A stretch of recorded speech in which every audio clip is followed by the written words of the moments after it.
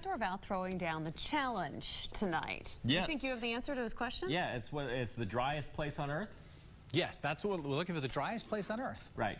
Okay, um, I'm going to let you handle and this. one. I, I'm I'm pretty sure it is the Antarctic, or or the Arctic, which anyhow. South or north? well, the Arctic's know. north, Antarctic is south, And- of the driest place is going to be. Yeah, it's where they don't get any rain at all, right? Uh, that, that, would, that would be true. Michelle, would you agree that this is probably the case? I, I no.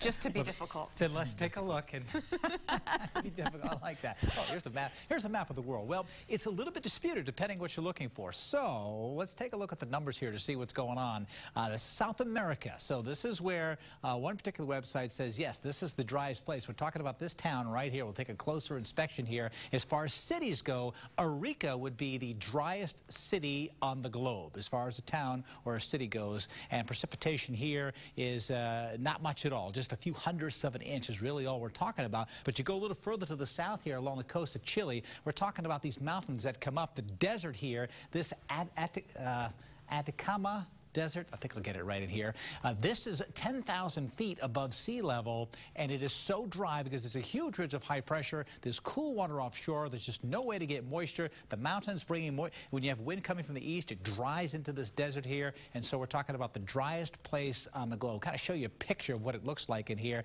This is it right here, 10,670 feet. Some parts of this desert get no rain at all, and of course that would make it dry. It is so dry, the cactus won't even grow here. And if you put metal out here, it won't oxidize. It will not rust because there's no moisture. And you could take meat and put it on that rock and leave it out there for days, and it would not spoil because there's no moisture to make the meat spoil. I We're expect talking. to see the Mars rover going across there. And very good observation, Roland. He says he expects to see the Mars rover go across this. This is the closest uh, analogy to what the surface of Mars looks like on the planet. So that's considered the driest place. However, and this, by the way, is the view if you look towards the south here, towards the water, there's plenty of water down here. Look at the cactus growing as you come up the mountains. When you get to the desert, there's no cactus.